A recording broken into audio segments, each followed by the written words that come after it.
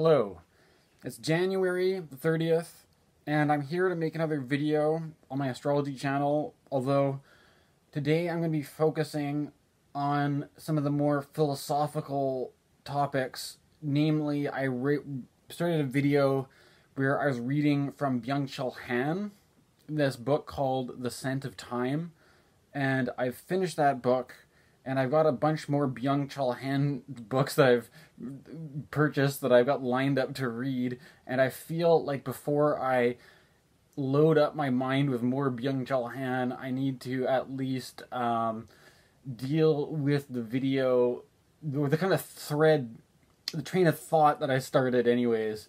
Um, and there's certain because I I think I would read from that chapter and then not go too much into the commentary, but just do a reading. And I've been kind of thinking about that as I finish the book, and um, because it is it, it feels very relevant to me. I just like to get into that. Um, so first of all,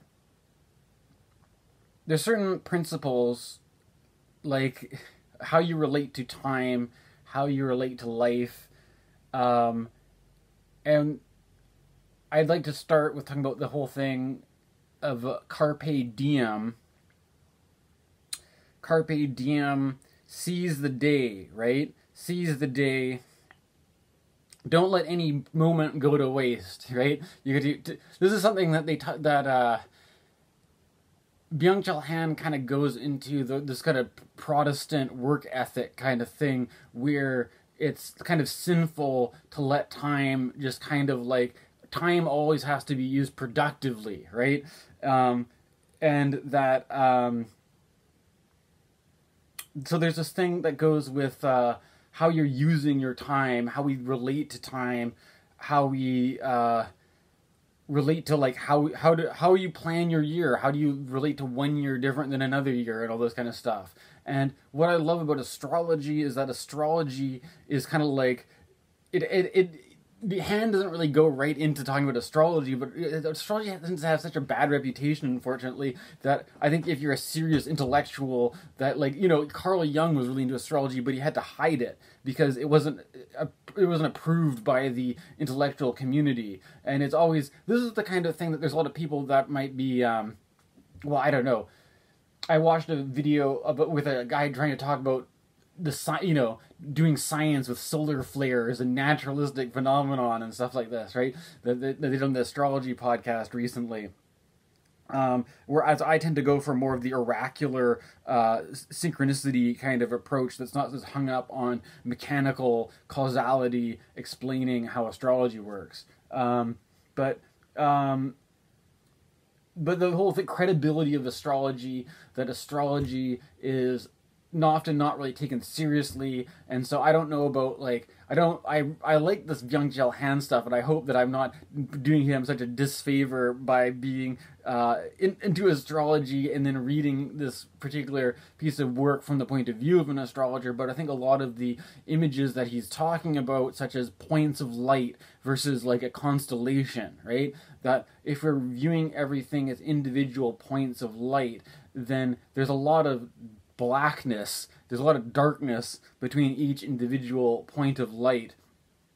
And that by viewing points of light as being connected into a constellation, then there's a sense of an underlying pattern that goes throughout the whole thing. And actually, with then you put it into the ring of the zodiac, uh, as is the um, it was kind of funny. I watched this video on the the esoteric meaning of Sonic Hedgehog, right, and the, how the, he collects the rings or whatever. I guess it also might relate to the Lord of the Rings. I'm playing Elden Ring now, but the ring, you know, the loot.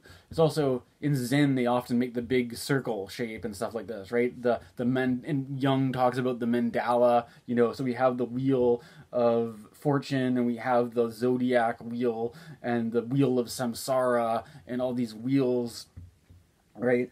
Um, and so you get into this thing that it's less about the um, less about carpe diem is more like looking at each moment you have. We only have this one life to live yolo.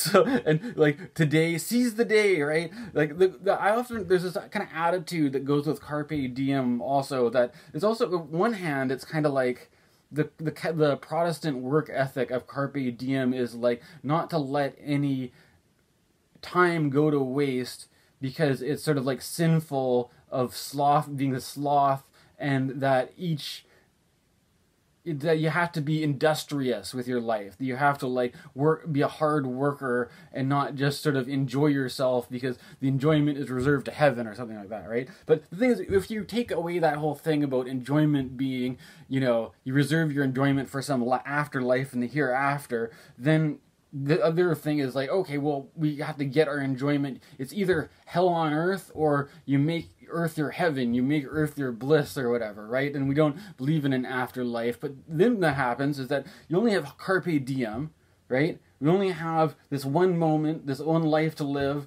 these this one and there's no and, and if there's no constellation there's no pinning it to a, a a overarching pattern. It's basically um, whatever you can get with no limits as as fast as you can get it in this moment. Winner takes all and like what does it start to sound like right? Sounds to sound a little bit like a really kind of like competitive aggressive form of capitalism maybe right? Um and I was kind of looking at some memes or whatever that I that you see on, you know, I mean maybe memes you shouldn't take too seriously, but it, if you look at the way humor works, right? The humor, the joking about astrology being like, you know, you don't want to use astrology to um,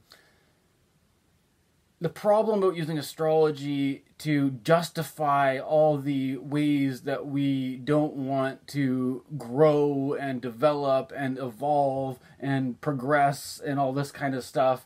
And but if you look at that claim what it suggests is that it's you're holding on to a stubborn kind of resistance in the face of submitting to uh, something that's obviously better than the stubborn resistance. What, what's better than the stubborn resistance is growth, right? But the thing is, growth only, if you look into this Jungian stuff, growth is only relative, relativized in relation to limitation and the inevitable, um, you know, ending of growth or growth only a tree grows but only grows so large you know what i mean? It's like growth only takes you so far and especially with uh, in capitalism there is no actual um like the principle of unlimited growth is only sustained by the by these natural limitations like a tree that cannot grow so far or like an an atmosphere that can only take so much pollution or or you know there are certain limit organic limitations that unlimited growth must adhere to in order so that that the principle of unlimited growth is not absolute. It's only it's only ever a relativized growth right?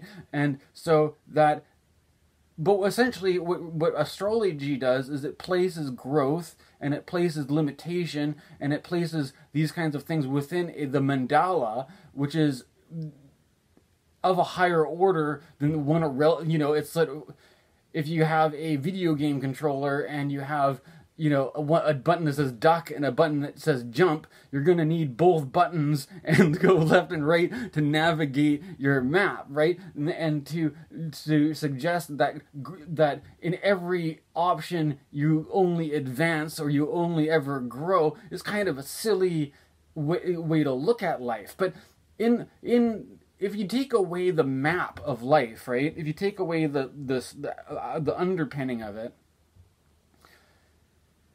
there's this kind there's a sense of being in a kind of, of the nihilistic void of modernity where there isn't really you know what when you get up in the morning and you live your life and you could live your life this way or you could live your life another way you know you could live on this country or you could live in another country. You could live with the people you're living with. Or you could live with different people or you know the whole existential thing. What you know if, if everything isn't fate it's all up to a choice then what makes any per- choice really that much better than another choice? And do you have to do anything a certain way at all? If it like if we live in a society that you know everything's kind of just relative and it doesn't really matter, then like who cares, right? Like what? Don't you just do what you want to do, right? Um, and so there's this kind of thing about astrology in that the narrative of modern life is that is this kind of thing that life is entirely what you make of it and that if there's if there's some you the the problem of this the difficulties of reality by attributing them to something that's fated by difficult transits or something like that. You know critics of astrology will put that down in terms of you know a, wor- a world where m- the meaning or the situation is all entirely what you make of it so that if any failure to maximize the play because especially the whole pleasure thing right? Because it's either it's either you sacrifice to work right in this protestant work ethic thing where it's like you're you're kind of turning work you know the religion of not looking for pleasure but you know doing noble things for the greater good or something like that versus if it's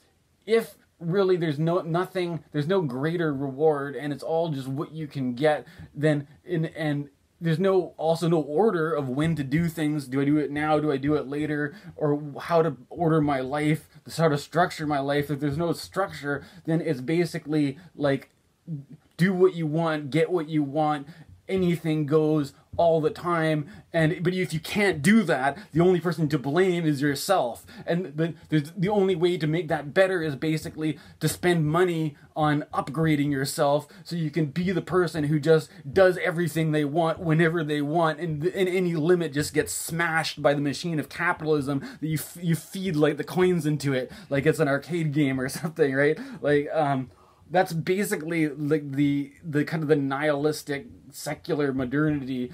Um, but one there, there's like um, yeah, I don't know. So um, what I'm kind of arguing for is a um, the, the the whole the whole point of view of also of like turning astrology into something that's always about growth or always about evolution or always about you know the kind of this therapeutic culture of always overcoming the obstacle or always doing that there's i don't know. I mean i'm maybe i am just like want to i mean that's not it either. I don't know. Take a take a break anyways